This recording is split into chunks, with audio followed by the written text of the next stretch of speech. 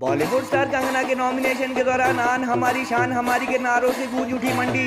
ये मोदी द्वारा काशी तो कंगना द्वारा छोटी काशी कहलाने वाली मंडी से आज ही नामांकन भरे जाना चर्चा में। पहली बार एक्टिव पॉलिटिक्स में उतरी कंगना रणौत के नामांकन के दौरान उमड़ी हिमाचल के बड़े बड़े नेताओं की जनसभाओं से कहीं ज़्यादा भीड़। नेशनल मेन स्ट्रीम मीडिया में हिमाचल के अन्य सभी लोकसभा उम्मीदवारों से कहीं ज़्यादा चर्चाओं में रहा। पद्मश्री पुरस्कार विजेता कंगना का नामांकन। जनसभा को संबोधित करते हुए कंगना बोली मुगलों व अंग्रेज़ों के गुलामी की निशानियाँ मिटाने व भगवान राम मंदिर कर्तव्य पाथ व नई संसद बनाने के लिए सदियों तक जाने जाएँगे नरेंद्र मोदी। पीएम मोदी के शासनकाल में भारत के पांचवी सबसे बड़ी इकोनॉमी बनने व धारा 370 हटाने को मंडी पार्लियामेंट्री सीट की बीजेपी कैंडिडेट ने बताया बड़ी अचीवमेंट। कांगना के रोड शो अथवा शक्ति प्रदर्शन के दौरान बार बार सुनाई दिए आन हमारी शान, हमारी जयराम ठाकुर, जान हमारी के नारे। पद्मश्री पुरस्कार से सम्मानित फ़िल्म अभिनेत्री कंगना रनौत के नामांकन के दौरान आज मंडी का पड्डल मैदान मोदी जी को जय श्री राम, आन हमारी शान, हमारी जयराम ठाकुर, जान हमारी जैसे। जोशीले नारों से गूंज उठा। एक्टिव पॉलिटिक्स में पहली बार उतरी। बॉलीवुड स्टार कंगना के नॉमिनेशन के दौरान हुए रोड शो में हिमाचल के बड़े बड़े नेताओं की जनसभाओं से ज़्यादा भीड़ जुटी और पारंपरिक वाद्य यंत्रों की ताल पर मौजूद लोग नाटी व मंडियाली लोक नृत्य करते भी देखे गए।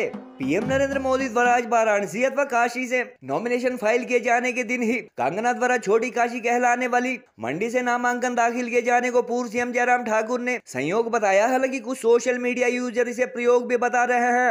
रोड शो के दौरान मौजूद जन समूह को संबोधित करते हुए एक तेज तर्रार पॉलिटिशियन के अंदाज में कंगना ने कहा कि प्रधानमंत्री नरेंद्र मोदी को मुगलों अंग्रेज़ों के गुलामी की निशानियाँ मिटाने तथा भगवान राम मंदिर कर्तव्य पथ, नई संसद बद्री धाम तथा काशी विश्वनाथ कॉरिडोर के निर्माण जीर्णोद्धार के लिए सदियों तक याद किया जाता रहेगा।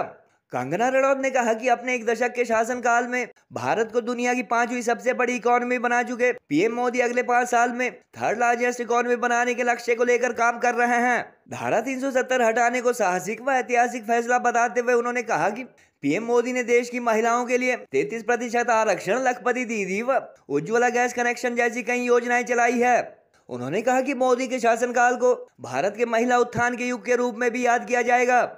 अपने संबोधन के दौरान कंगना रनौत ने प्रदेश की कांग्रेस सरकार द्वारा 1000 संस्थान बंद किए जाने व फ़र्स्ट कैबिनेट में महिलाओं को पंद्रह सौ रूपए पेंशन तथा एक लाख सरकारी नौकरियाँ न दिए जाने का मुद्दा भी उठाया।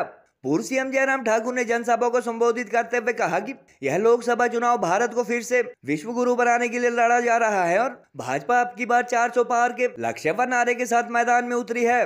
कल सीएम सुखविंदर सुक्खू द्वारा किए गए गणित कमज़ोर होने संबंधी तंज पर आज पलटवार करते हुए जयराम ने कहा कि अपने महज डेढ़ साल के शासनकाल में कांग्रेस 40 से 36 हो गई है और इसके बावजूद मुख्यमंत्री मेरे मैथ पर सवाल उठा रहे हैं। देश के मेन स्ट्रीम मीडिया में आज कंगना रनौत का नॉमिनेशन हिमाचल के अन्य सभी पार्लियामेंट्री कैंडिडेट से ज़्यादा चर्चाओं में रहा पिछले करीब डेढ़ माह से लगातार उन्हें सेलिब्रिटी होने के चलते अन्य नेताओं से ज़्यादा मीडिया कवरेज मिल रही है। नॉमिनेशन के दौरान भाजपा के प्रदेश अध्यक्ष व राष्ट्रीय उपाध्यक्ष सहित मंडी व सूबे के कई आला नेता मौजूद रहे। दोस्तों, आज मेरा मंडी की बेटी, हिमाचल की बेटी का नामांकन हुआ है। मंडी जिसे छोटी काशी कहा जाता है आज इस ऐतिहासिक दिन पर जब मैंने मंडी से नामांकन किया है, पहली बार सरकाघाट मंडी विधानसभा की किसी बेटी को इस तरह का एक मौका मिल रहा है। और आज के इस दिन पर हमारे परम पूजनीय, यशस्वी प्रधानमंत्री जी ने भी बड़ी काशी से अपना नामांकन किया है। इसके लिए हम प्रधानमंत्री जी को बहुत बहुत मंडी क्षेत्र की तरफ़ से, हिमाचल की तरफ़ से बधाई देते हैं। भाइयों और बहनों, इतिहास जब भी दोहराया जाएगा, ये कालखंड न कि सिर्फ़ भारत उद्धार, भारत के विकास, प्रगति, अस्मिता और आत्म सम्मान का ही नहीं, महिला सशक्तिकरण के लिए ये एक युग, ये कालखंड हमेशा एक स्वर्णिम काल कहलाएगा।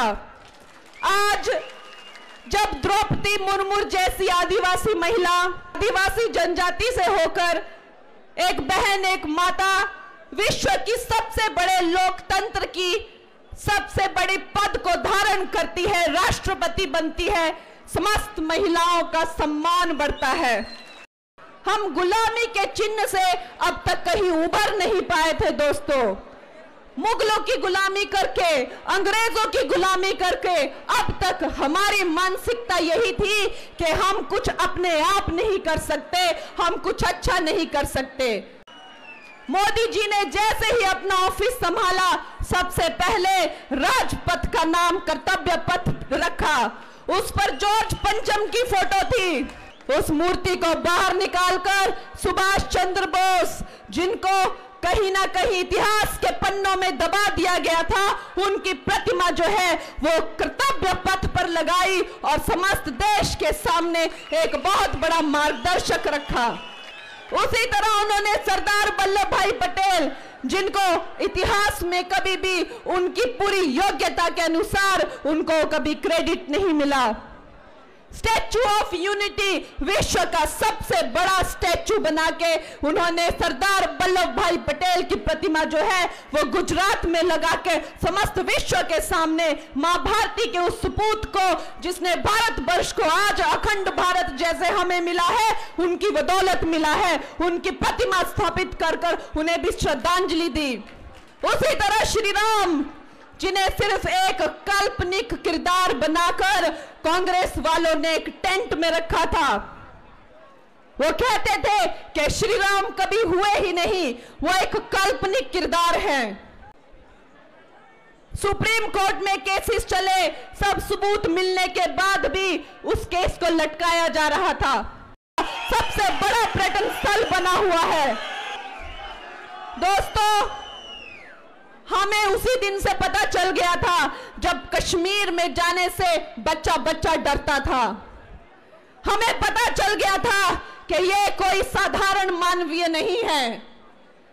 नब्बे के दशक में जब आपको पता है कश्मीरी पंडितों के टुकड़े कर करके जब कश्मीर से बाहर उनको निकाल दिया गया था, भारत का प्रशासन भी वहाँ जाने से डरता था। उस वक्त नरेंद्र मोदी जी ने झंडा उठाकर ऐलान करके वहाँ पे चौराहे पे झंडा गाड़ा था और भारत माता के नारे लगाए थे।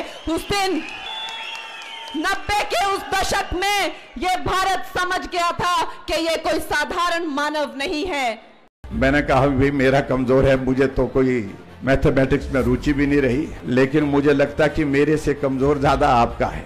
गिनते थे कि हम 40 प्लस तीन तरतालीस हैं 43 हैं 25 हैं 25 वाले कैसे करेंगे? और मैथमेटिक्स उनका अपना गड़बड़ हो गया। तैतालीस थे, तैतालीस से 34 पहुँचे, हम 25 से 34 पहुँचे। अब हिसाब किसका ठीक है? आप अपने आप अंदाज़ा लगाइए और राज्यसभा की हम सीट जीत गए। सुखू भाई थोड़ा बच के रहे।